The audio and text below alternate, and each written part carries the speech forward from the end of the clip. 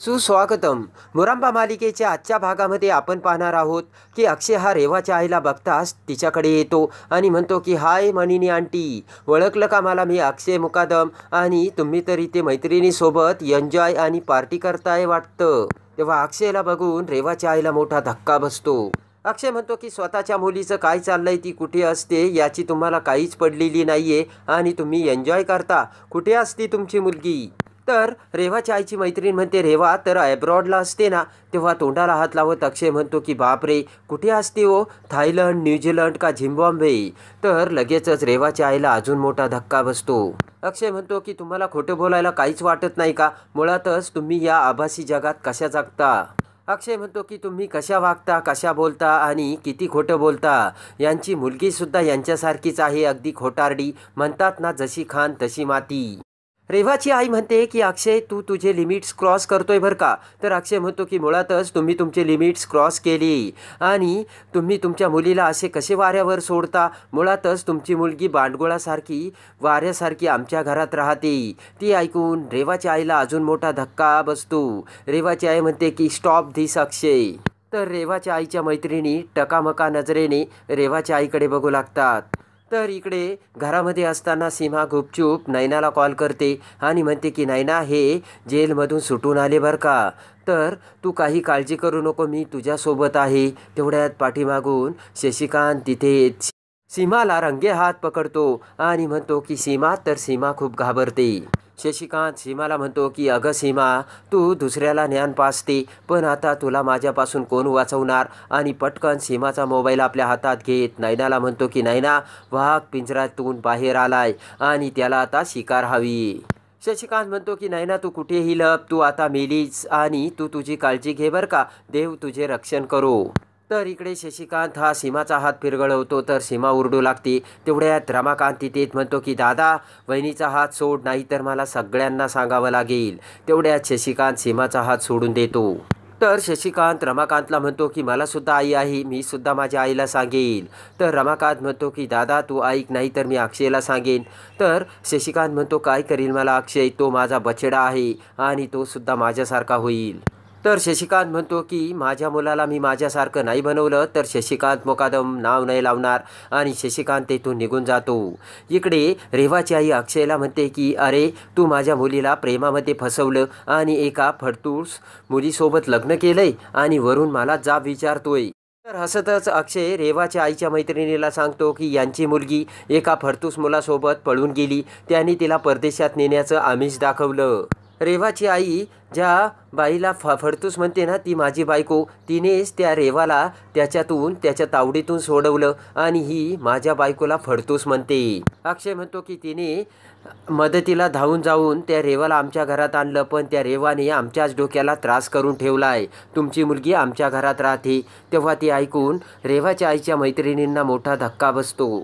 अक्षय म्हणतो की ती रेवा आता आमच्या घरी सगळ्यांसोबत खोटे बोलते आणि खोटारडी वागते. तेव्हा रेवाच्या आईला राग येऊन रेवाची आई अक्षयला मारण्यासाठी हात उचलते पण तेवढ्यात रमा तिथे येऊन रेवाच्या आईचा हात धरते आणि म्हणते की ह्या माणसाला तुम्ही नाही मारू शकत याने तुमच्या रेवाची मदत केली.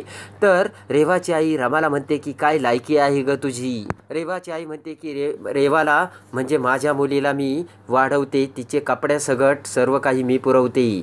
तर रमा म्हणते की म्हणूनच तुमची मुलगी माझ्या घरी राहते ही. रमा म्हणते की मी हिशोब म्हणूनच चुकता केलाय आणि तुम्हाला थोडी जरी तुमच्या मुलीची काळजी असेल किंवा थोडी जरी तुमच्यात अजून लाज शिल्लक असेल तर तुम्ही तुमच्या मुलीला माझ्या घरून घेऊन जाताल. रमा म्हणते की जरा तुम्ही चांगुलपणा दाखवा. तुमची मुलगी आश्रितासारखी राहती. त्याचं तुम्हाला चांगलं वाटत नसेल ना? तर रमा जाऊ लागते. तेवढ्यात रेवाची आई म्हणते की तू एवढी कशी कॉन्फिडन्स झाली? कुठून आला तुझ्यात हा आत्मविश्वास? रेवाची आई म्हणते की पैशामुळे तुझ्यात आत्मविश्वास आला का? तर रमा म्हणते की पैशापेक्षा प्रेमाची किंमत खूप जास्त असते मानिनी काकू. तुम्हाला त्याची किंमत कधीच नाही कळणार. रमा म्हणते की मला नवऱ्याचं प्रेम मिळालं म्हणून माझ्यात आत्मविश्वास आला. तर लगेचच अक्षय हा रमाच्या खांद्यावरती हात ठेवतो. तर इकडे अक्षय रेवाच्या आईला म्हणतो की आंटी अजूनही वेळ गेलेली नाही आहे बघा तुम्हाला समज येतो की नाही आणि घेऊन जा तुमच्या मुलीला. असे म्हणत रमाला घेऊन अक्षय तेथून निघून जातो. तर इकडे शशिकांत सोप्यावर बसलेला असताना रेवा खूप खुश होते आणि म्हणते की बाबा आणि नाचू लागते. तर इकडे शशिकांतसोबत रेवा ही नाचत असते तेवढ्या सीमा तिथे रेवाला म्हणते की अगं रेवा घरात गणपती बाप्पा आहे तू कशी गाणी लावलीस आणि काय नाच काम करतेस तू हे असले? तर सीमा म्हणते आता आरती चालू होईल बंद करते. तर रेवा म्युझिक बंद करते. सीमा म्हणते की तुझ्याकडे हेडफोन आहे ना त्यामध्ये ऐक ना गाणी. तर लगेच रेवा म्हणते बाबा तेव्हा शशिकांत म्हणतो की रेवाला जे गाणी ऐकायचे असेल ती ते मोठ्या आवाजात ऐकेल. तिचे कान आहे ते तिने काय ऐकायचं काय नाही ते ती ठरवेल. शशिकांत म्हणतो की रेवाला या घरात जे हवं असेल ती ते करेल. ती कोण आहे तुला माहीत आहे का? ती माझी सून आहे. तेव्हा सीमाला मोठा धक्का बसतो.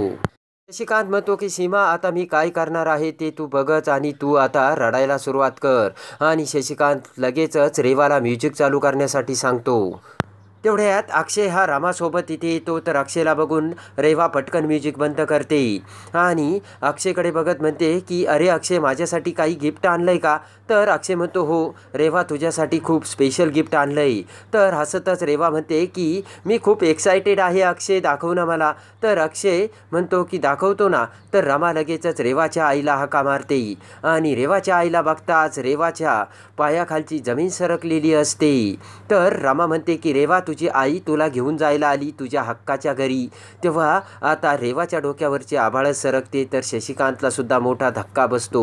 तर इकडे आता अभ्या आणि आरती बेडरूममध्ये असताना आरती म्हणते की आता सगळ्यांना सांगायला काय हरकत नाही अभिषेक? आणि थोड्याच दिवसात पोटच दिस दिसायला लागेल. तेव्हा अभ्या म्हणतो की जेव्हा पोट दिसायला लागेल ना तेव्हा सांगू ना आपण सगळ्यांना. आरती म्हणते की मला खूप आनंद झाला आहे आणि आरती ही अभ्याला मिठी मारते. तर इकडे रेवाची आई रेवासमोर येते आणि म्हणते की रेवा कशी आहेस बेटा? तर लगेचच रेवा म्हणते की डोंट टच मी आणि पळतच रेवा ही तोंडाला हात लावून वर जाऊ लागते. तेवढ्यात रेवाचा पाय सटकतो आणि रेवा खाली पडू लागते. तर रेवाची आई आणि शशिकांत म्हणतो की रेवा. तर रेवावर निघून जाते. तेव्हा रेवाची आई म्हणते की मला रेवासोबत थोडं बोलायचं आहे तर सीमा म्हणते की तुम्ही बोलू शकता. तर रेवाची आई रेवाबरोबर बोलण्यासाठी वर निघून जाते. तेव्हा अक्षय शशिकांत समोर म्हणतो की या रेवाला घेऊन जायला आल्यात.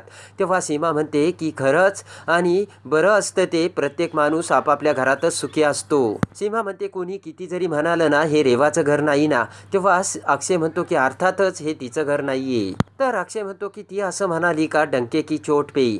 तर सीमा म्हणते ती नाही म्हणाली. तर सीमा शशिकांतकडे बघत म्हणते की मीच म्हटले डंके की चोट पेई. इकडे जान्हवी ही आई आजीकडे येत म्हणते की आजकाल तुम्हीसुद्धा माझा खूप रागराग करायला लागल्या बरं का? तर आई आजी म्हणते की आता तुम्ही जावा जावा एक झाल्या ना. तर जान्हवी म्हणते म्हणजे? तर आई आजी म्हणते की जाऊ बाई तर जान्हवी म्हणते कुठे जाऊ मी? आई आजी म्हणते की आजकाल तुला त्या रामाचा खूप पुळका यायला लागला आणि तू तिला देणारा त्रासही बंद केला. तर जान्हवी म्हणते की आई आजी तुम्हीच म्हणता ना की मी काहीतरी घोळ घालून ठेवते मग मी कशाला त्रास देऊ त्या रामाला आता? जान्हवी म्हणते की आई आजी तुम्ही ना त्या डबल ढोलकीसारखे दोन्हीही बाजूने बोलता. तेव्हा आई आजी म्हणते काय म्हणालीस मला? जान्हवी म्हणते आजकाल ती रेवा तुमची फेवरेट झाली आणि तुम्ही मला फेवरेट नाचून मानतच नाही आणि जान्हवी जाऊ लागते. तर आई आजी म्हणते की बस जान्हवी तू जर माझं एक काम केलं तर मी तुला खरंच माझी नाचून फेवरेट मानील. तर जान्हवी म्हणते बोला ना इकडे आता सीमा ही रमाच्या बेडरूममध्ये येत रमाला समजावते आणि म्हणते की अगं रेवा आता चालली ना तुझा सगळा संसार सुरळीत होणार आहे बघ. आणि लगेच अक्षयसुद्धा तिथे आलेला असतो. अक्षय म्हणतो की खरं तर या क्षणी तोंड गोड करायचं असतं. आणि अक्षयने आणलेला चहा अक्षय त्यांना घेण्यासाठी बोलतो. त्यानंतर चहा घेत असताना अक्षय म्हणतो बरं झालं त्या मानिनी आंटींनी चांगला निर्णय घेतला त्या रेवाला घरी घेऊन जाण्याचा. सीमा म्हणते अरे अक्षय हळू बोल ना. तर अक्षय म्हणतो कशाला घाबरायचं आणि का हळू बोलायचं? तर सीमा म्हणते की खरंच त्यांनी खूप चांगला निर्णय घेतला. सीमा म्हणते की तुम्ही त्या रेवाच्या आईला घरी घेऊन आले ना खूप चांगलं झालं. तेव्हा अक्षय म्हणतो की बाप्पांनीच आम्हाला बुद्धी दिली. तर इकडे रेवा तिच्या बेडरूममध्ये येऊन सर्व उशा वगैरे इकडे तिकडे फेकून देऊ लागते आणि मोठ्याने ओरडू लागते. तेवढ्यात रेवाची आई दरवाजा उघडून रेवाला बघते. आणि लगेचच रेवा मोठ्याने ओरडत रडतच रेवाच्या आईला म्हणते की मम्मा तू इथे का आलीस? मला तुझं तोंडही बघायचं नाही. तर रेवाची आई म्हणते की रेवा तुला वेळेवरती सर्व कळलं ते बरं झालं. तर रेवा म्हणते की मम्मा तू जा इथून. तर रेवा म्हणते की मम्मा तू जा इथून आणि तू परत परत तेच बोलतेस पण वेळ जरी निघून गेली ना तरी त्या वेळेला मी पुन्हा आणील कारण रेवाला काहीच अशक्य नाही आहे तर रेवा म्हणते की मी अक्षयला मिळवून राहिलंच तर रमा रेवाची आई म्हणते की तो तर रमारमा करत असतो. रेवा म्हणते घरातले सुद्धा आता माझ्या बाजूने आहेत बाबा आणि आई सुद्धा मला त्यांची सून मानतात. तर रेवाची आई म्हणते की त्यांनी मानून काय उपयोग? अक्षय तर रमालाच आपली बायको मानतोय ना.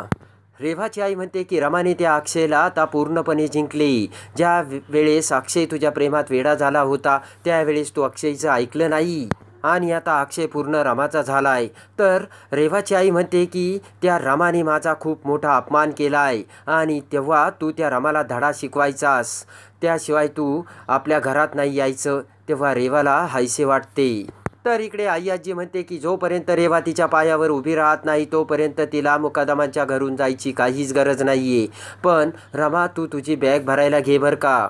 कारण काही ना गणपती विसर्जन झाल्यानंतर आपल्याला शिक्षा भोगायला जायचं ना तेव्हा रागाने अक्षय हा आई आजीकडे बघतो. तर आता अक्षय आणि रमा रेवाला कसे बाहेर काढतात हे बघण्यासाठी आणि मुरंबा मालिकेच्या डेली अपडेटसाठी आपल्या चॅनलला लाईक करा सबस्क्राईब करा.